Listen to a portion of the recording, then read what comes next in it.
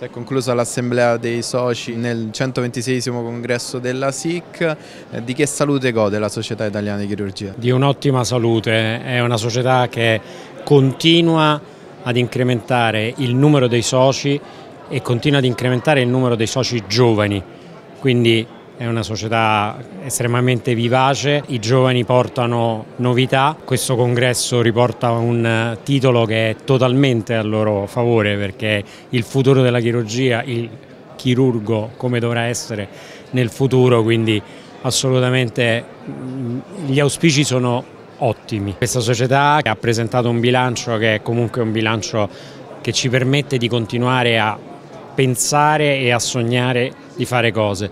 Abbiamo accanto i soci prima di tutto e abbiamo accanto e credo che continueremo ad averle accanto le aziende proprio per il, diciamo, la serietà che questa società eh, alla quale viene riconosciuta questa serietà, per cui non credo che ci siano eh, problemi nel poter pensare al futuro. Mai come quest'anno abbiamo avuto un numero impressionante di giovani che si sono avvicinati e si sono iscritti alla Società Italiana di Chirurgia. Questo è stato il mio impegno durante questo direttivo in qualità di segretario generale e continuerà nei prossimi anni fin quando avrò questa carica. La cosa importante adesso è trattenerli. Con la crisi che abbiamo sentito dei giovani, soprattutto nel campo chirurgico, coloro che dimostrano il loro amore per la chirurgia vanno eh, trattenuti attraverso l'insegnamento e attraverso la condivisione dei valori che ci hanno insegnato i nostri maestri, che sono quelli della correttezza, del rispetto, del malato al centro e del rispetto verso i colleghi. Ai giovani io voglio dare questo messaggio di non aver paura a perseguire i propri sogni. Se il sogno è quello di fare il chirurgo, anche se possono ascoltare mille difficoltà, devono perseguire il loro sogno. Fare il chirurgo è una passione che non è, chiaramente è importante anche quello, non si può misurare solamente con la remunerazione che purtroppo in Italia è bassa, eh, ma si deve misurare con eh, quello che poi ti restituisce il contatto giornaliero con i pazienti, con i familiari, con gli successi e anche purtroppo con gli insuccessi, ma devono perseguire i propri sogni senza farsi spaventare dalle avversità.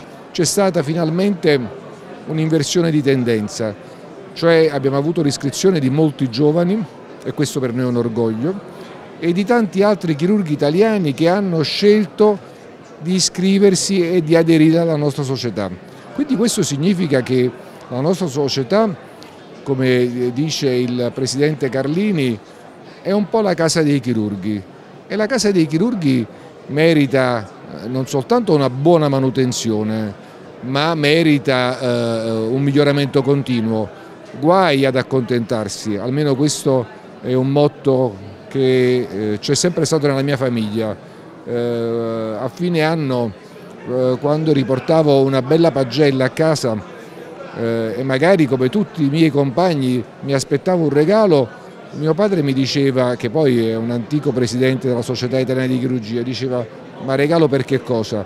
Hai fatto il tuo dovere.